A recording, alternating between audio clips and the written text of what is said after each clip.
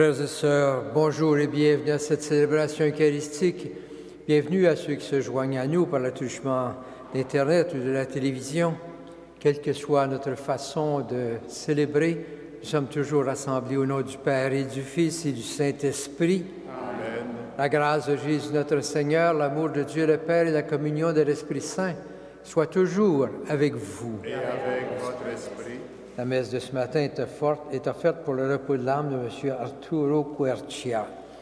Au début de cette célébration, nous nous arrêtons devant ce Dieu d'amour, de miséricorde et de pardon pour reconnaître que nous avons toujours besoin de son pardon. Demandons pardon pour nos fautes. Seigneur Jésus, tu as porté le péché du monde. Prends pitié de nous. prends pitié de nous. Ô Christ, tu es le Fils bien-aimé de Dieu le Père. Prends pitié de nous. Prends pitié de nous. Seigneur, tu es toujours l'unique sauveur de tous les humains. Prends pitié de nous. Prends pitié de nous. Que Dieu Tout-Puissant nous fasse miséricorde, qu'il nous pardonne nos péchés et nous conduise à la vie éternelle. Amen. Prions le Seigneur. Dieu qui veut habiter les cœurs droits et sincères, donne-nous de vivre selon ta grâce. Alors tu pourras venir en nous pour y faire ta demeure par Jésus-Christ notre Seigneur qui vit et règne avec toi dans l'unité du Saint-Esprit pour les siècles des siècles. Amen.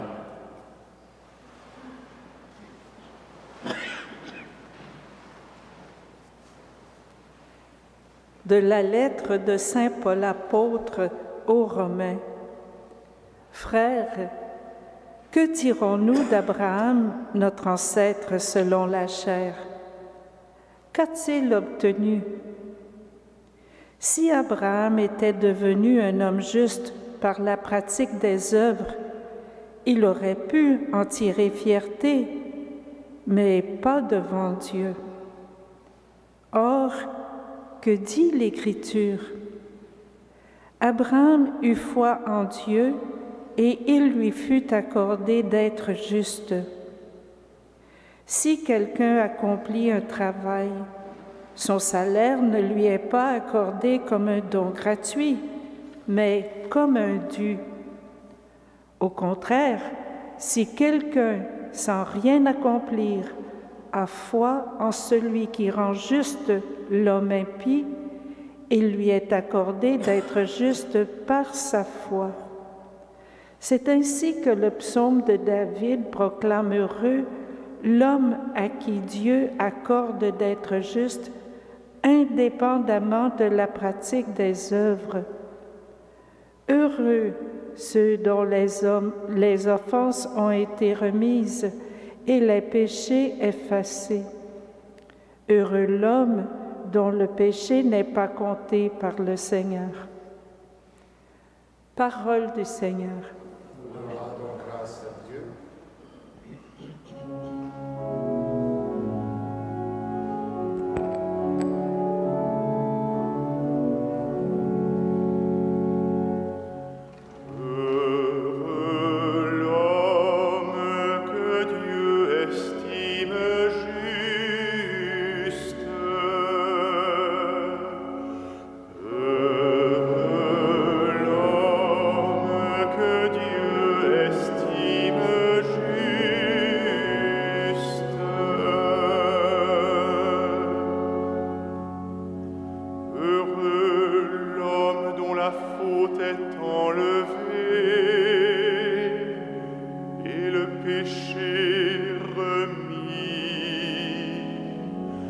Heureux l'homme dont le Seigneur ne retient pas l'offense,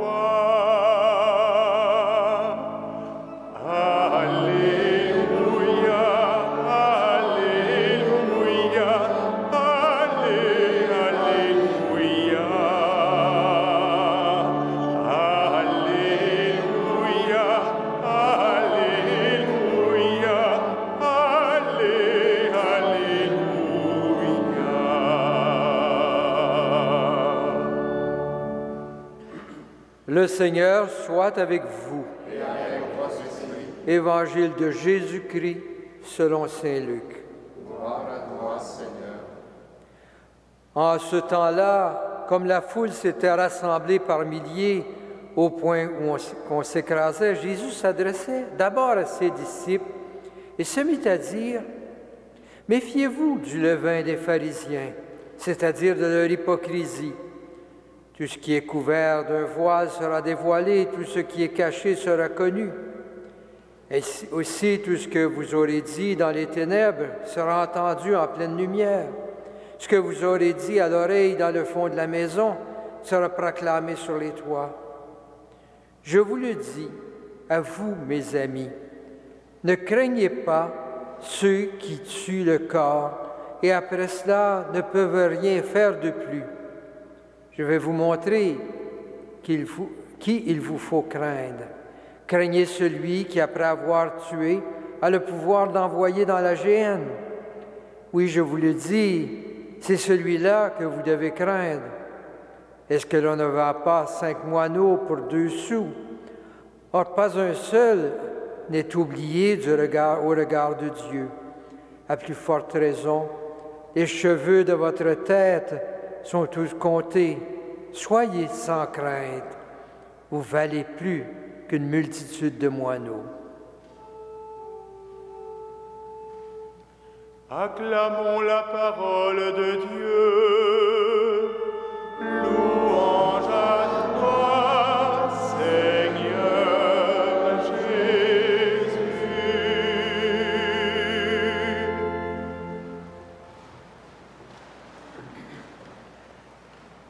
Et sœurs, Saint Luc euh, rassemble des paroles de Jésus qui semblent un peu dispersées, mais pourtant il y a un fil que nous retrouvons à travers tous ces textes. À qui devons-nous faire confiance? Qui devons-nous craindre? De quoi devons-nous nous méfier? Voilà donc cet ensemble que- qui nous est proposé ici. Il débute en invitant à se méfier, se méfier de certaines personnes et on termine au contraire, avec une invitation à ne pas se méfier, au contraire, à faire confiance. Les pharisiens invitaient sans doute à faire confiance aux personnes qui, comme eux, suivaient scrupuleusement la loi.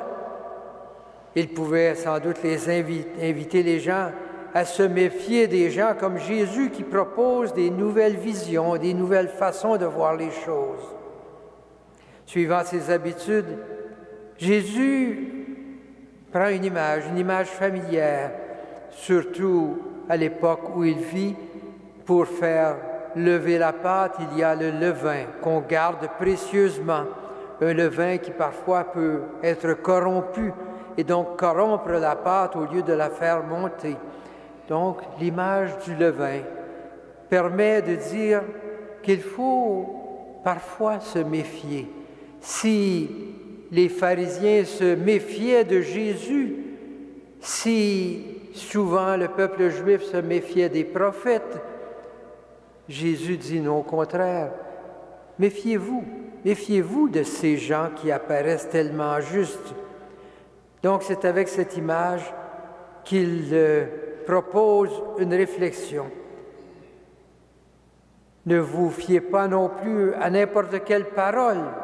Ces pharisiens disent de belles choses, mais ils cachent des intentions beaucoup moins louables. Ils parlent de Dieu et de la loi, mais ils ne font que protéger leur pouvoir et leurs intérêts. Attention, méfiez-vous des paroles hypocrites, des paroles qui ne mènent à rien. Portez votre confiance aux paroles de vérité. Jésus refuse donc toute cette duplicité qu'il voit autour de lui, même s'il sait que son approche comporte des risques, même si ses proches lui disent qu'il risque d'être tué en demeurant aussi ferme en tout ce qu'il dit. Peu importe si son attachement est conditionnel à la vérité, si son attachement complet à la volonté du Père l'amène à la mort, il ne faut pas craindre.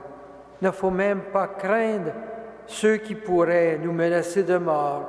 Il faut faire confiance, s'en remettre entièrement à Dieu. Ces paroles, elles sont complètement en lien avec la façon de vivre de Jésus. Faire confiance à la parole du Père et prendre des risques devant un monde parfois hostile. Il faut faire confiance. Ainsi comprises, ces paroles nous indiquent l'orientation profonde de Jésus lui-même, un engagement à demeurer dans la vérité solidement, sans rien cacher, en plaçant sa confiance entre les mains du Père.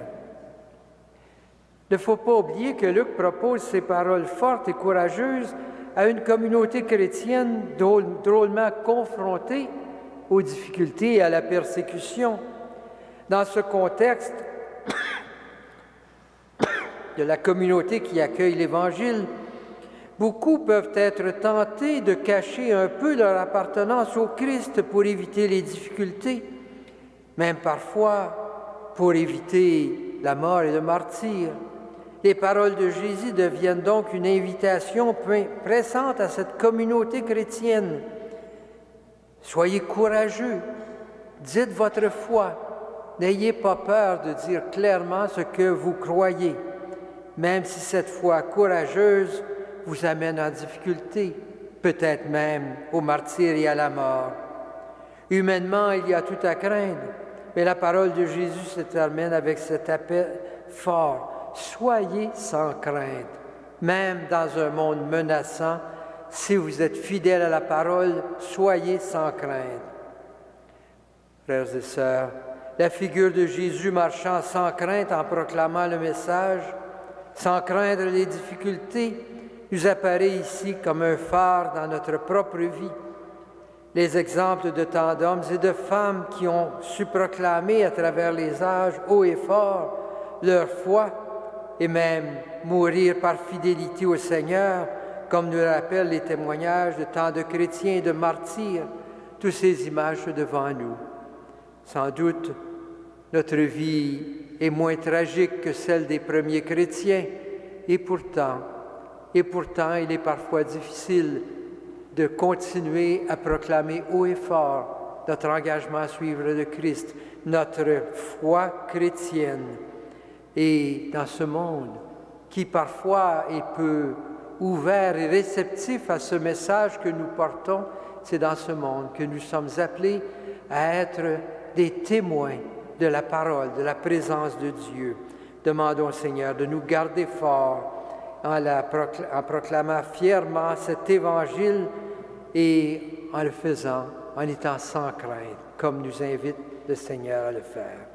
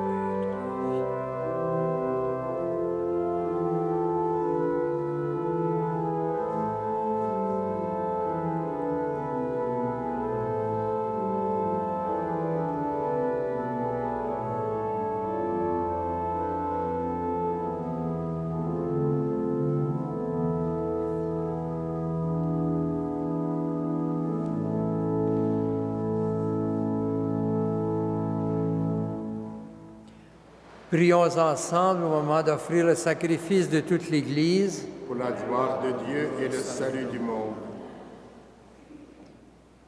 Que cette, Eucharistie, Seigneur notre Dieu, nous purifie et nous renouvelle, qu'elle donne à ceux et celles qui font ta volonté le bonheur que tu leur as promis par Jésus le Christ, notre Seigneur. Amen.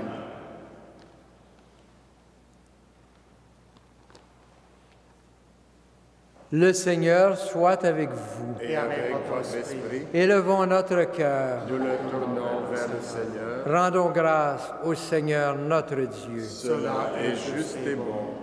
Vraiment, il est juste et bon de te rendre gloire, de t'offrir notre action de grâce, toujours et en tout lieu à toi, Père très saint, Dieu éternel et tout-puissant. Dans ta bonté, tu as créé l'homme, et comme il avait mérité la condamnation, tu l'as racheté dans ta miséricorde par le Christ notre Seigneur.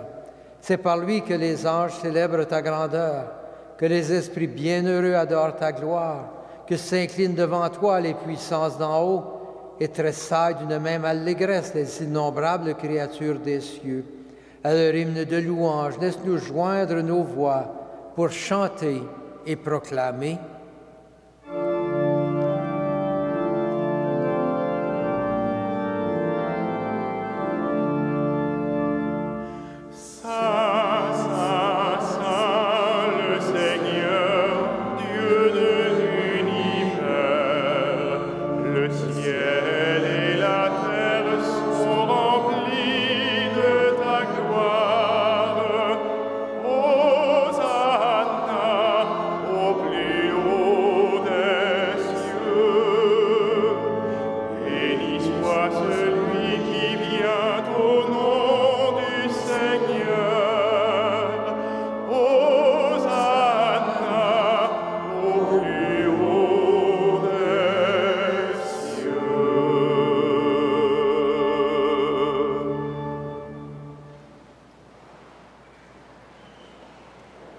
Toi qui es vraiment saint, toi qui es la source de toute sainteté, Seigneur, nous te prions. Sanctifie ces offrandes en répandant sur elles ton esprit, qu'elles deviennent pour nous le corps et le sang de Jésus, le Christ notre Seigneur. Au moment d'être livré et d'entrer librement dans sa passion, il prit le pain, il rendit grâce, il le rompit et le donna à ses disciples en disant, Prenez et mangez-en tous, ceci est mon corps livré pour vous.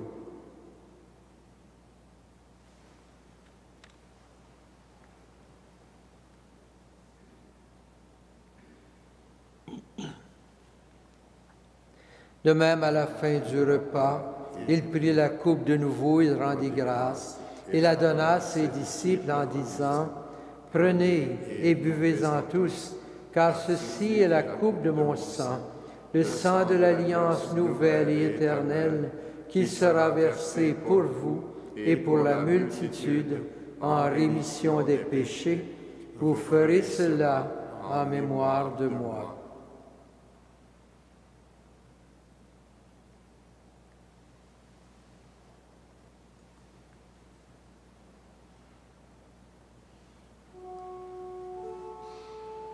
Il est grand le mystère de la foi.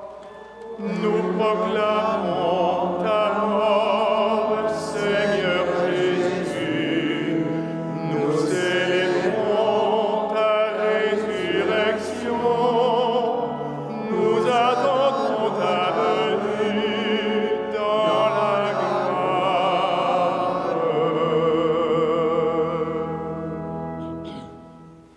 Faisant ici mémoire de la mort et de la résurrection de ton Fils, nous t'offrons, Seigneur, le pain de la vie et la coupe du salut, et nous te rendons grâce, car tu nous as choisis pour servir en ta présence.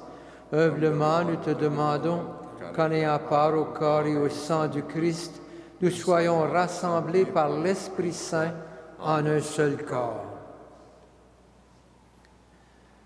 Souviens-toi, Seigneur, de toute l'Église répandue à travers le monde. Fais-la grandir de ta charité avec le pape François, notre évêque Christian, ensemble des évêques, les prêtres, les diacres et tous ceux qui ont la charge de ton peuple. Souviens-toi aussi de nos frères et sœurs qui sont endormis dans l'espérance de la résurrection et de tous les hommes qui ont quitté cette vie. Reçois-les dans ta lumière auprès de toi. Sur nous tous, enfin, nous implorons ta bonté. Permets qu'avec la Vierge Marie, la bienheureuse Mère de Dieu, et Saint Joseph, son époux, avec les apôtres, Saint Frère André et les saints de tous les temps qui ont vécu dans ton amitié, nous ayons part à la vie éternelle et que nous chantions ta louange par Jésus-Christ, ton Fils bien-aimé.